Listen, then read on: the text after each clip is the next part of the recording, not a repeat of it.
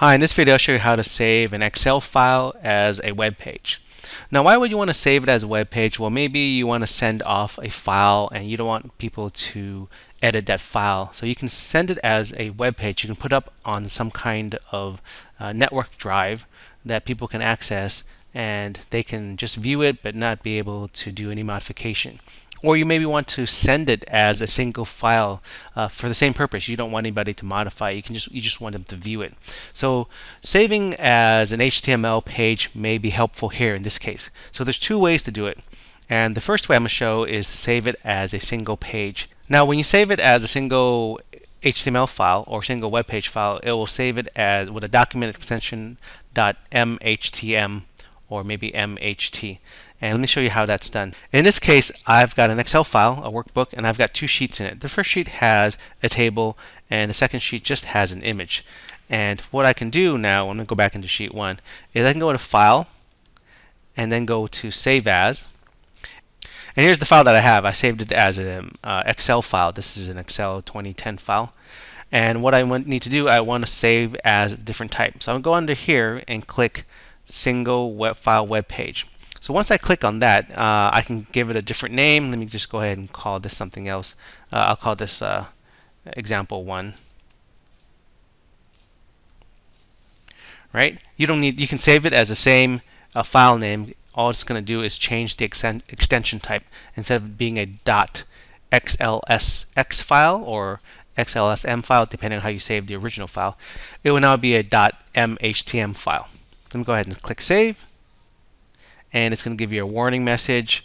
Uh, if, if, there's any kind of formatting that's not compatible with the single file page it's not going to save it uh, or it's not going to preserve those uh, features. So I'll go ahead and just click yes here and this this part says that um, in if you wanted to automatically republish the web page, basically if you saved it and then you went back into the original file format, the .xls file format, and made some changes, uh, will that incorporate any of the changes into the web page version?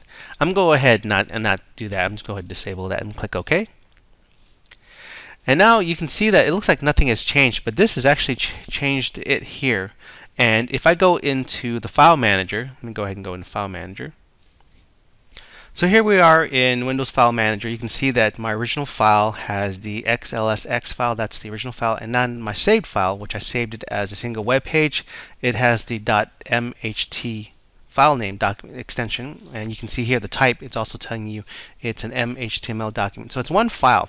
So if I open up this file let me go ahead and right click and open it up with a browser. So I'm going to right click open up I'm going to open up in Internet Explorer. Usually these file types that are created in uh, Excel where you're saving it as a web page they're probably optimized more for Microsoft products. So I usually use the Internet Explorer since it's a Microsoft product. So I'm going to click on that.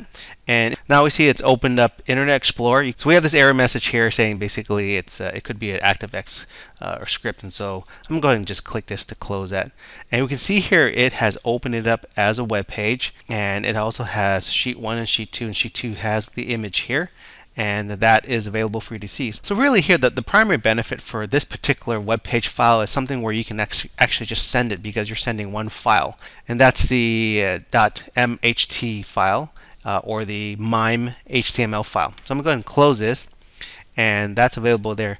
So let me go through the second example of how to save it as a web page. So I'm back in my uh, original uh, Excel file, the one with the extension XLSX, and what I can do here is I can go to File and Save As, but there is actually a keyboard shortcut for Save As too. So let me go ahead and show you the example there.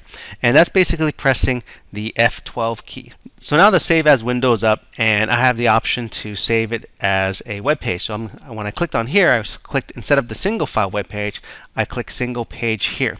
So when I clicked on that, and you notice now that it has put an HTML file extension here. So if I click Save, it'll give the same warning message, and I'll go ahead and just ignore this one. Click Yes and then it'll ask for the auto republish. Uh, I'm going to go ahead and just click OK for that to disable it.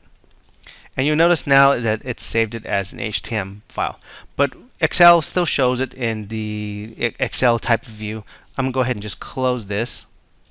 So I'm going to go ahead and just go into the file manager and we'll take a look at see what it looks like.